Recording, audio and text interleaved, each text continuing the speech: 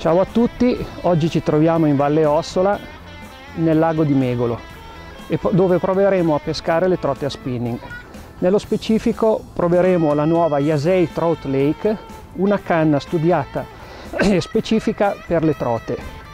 Una canna lunga 2,51 m per un range di lancio da 7,28 studiata appositamente per eh, gestire artificiali da trota. Una canna con azione di punta molto sensibile per una gestione dell'artificiale ma anche molto pronta per la ferrata